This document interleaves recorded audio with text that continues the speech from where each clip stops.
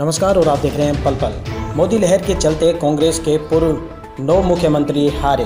Party के भविष्य पर इस समय सवाल उठते जा रहे हैं। जी हाँ देश भर के प्रधानमंत्री नरेंद्र मोदी की प्रचंड लहर के चलते और उस पर भारतीय जनता पार्टी सवार होकर राष्ट्रवाद, हिंदू गौरव और न्यू इंडिया के मुद्दों पर लोकसभा चुनाव में ऐतिहासिक जीत दर्ज करने के बाद दूसरी बार केंद्र में सरकार बनाने जा रही है। और मोदी लहर इतनी प्रचंड थी कि कांग्रेस के नौ के नौ पूर्व मुख्यमंत्री हार गए।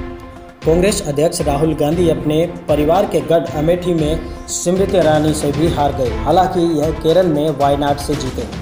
आपको बता दें कि मोदी लहर के आगे कांग्रेस के बड़े बड़े दिग्गज ठहर न सके।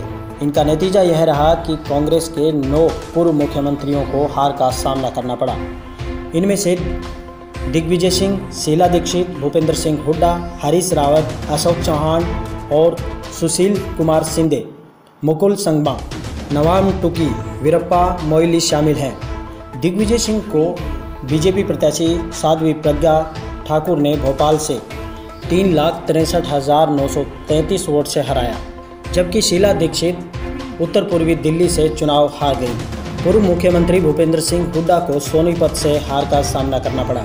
उधर उत्तराखंड के पूर्व मुख्यमंत्री हरीश रावत, नैनीताल, उधम सिंह नगर सीट से पूरी तरह से हार गए। और अब बात करें महाराष्ट्र की तो महाराष्ट्र के पूर्व मुख्यमंत्री अशोक चौहान को भी पराजय का सामना करना पड़ा। देश में सत्तर साल तक काबिज रहने वाली कांग्रेस धीरे धीरे सिमटती चली गई। और अब की बार तो बावन सीटों पर ही सिमट चुकी। आपको बता दें कि 2014 के चुनाव में पार्टी को सिर्फ़ चवालीस सीटें मिली थी। इस तरह से पिछले पाँच साल में केवल आठ सीटों का इजाफा हुआ है। चुनाव में मिली हार राहुल गांधी ने इस पर कहा कि भारत के लोगों ने तय किया है, नरेंद्र मोदी अगले प्रधानमंत्री होंगे। मैं हालाँकि उनका पूरा सम्मान करता हूँ। उन्होंने भाजपा और नरेंद्र मोदी जी को बधाई भी दी। जब उनसे पूछा गया कि क्या कारण रहे तो राहुल गांधी ने कहा कि ये दिन कारणों की पड़ताल करने का नहीं है, बल्कि देशवासियों की इच्छा का सम्मान करने का है।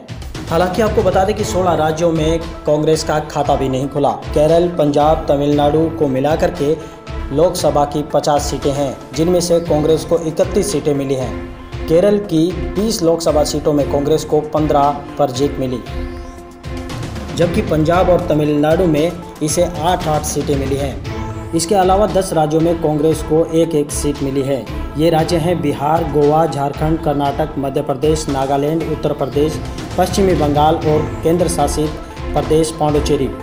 पार्टी बाकी राज्यों व केंद्र शासित प्रदेशों में अपना खाता तक नहीं खोल पाई। इससे आपको बता दें कि साफ़ ज़ाहिर है कि राहुल गांधी के नेतृत्व पर इस समय सवाल उठ रहे हैं। बीच बीच में राहुल गांधी ने इस बात को शायद नज़रअंदाज करने के लिए कहा था कि वे इस्तीफा देंगे। इस नतीजों से गांधी के नेतृत्व पर और उनकी पार्टी के भविष्य पर सवाल उठ रहे हैं। एक प्रेस वार्ता में उन्होंने मसले पर बात करने से इनकार करते हुए कहा कि पार्टी शुक्रवार को भविष्य को लेकर के बैठक करेगी। इन खबरों से पहले ये खबरें आई थी कि राहुल गांधी ने इस्तीफे की पेशकश की है। हालाँकि बाद में पार्टी की ओर से इसका खंडन भी कर दिया गया। हालाँकि चुनावी लोकसभा चुनाव में कुल चौदह पूर्व मुख्यमंत्री चुनाव हारे हैं। लेकिन इनमें से कांग्रेस के नौ मुख्यमंत्री ऐसे हैं जो पहले मुख्यमंत्री रह चुके हैं। इसी के साथ आप देख रहे हैं पल पल की ये विशेष रिपोर्ट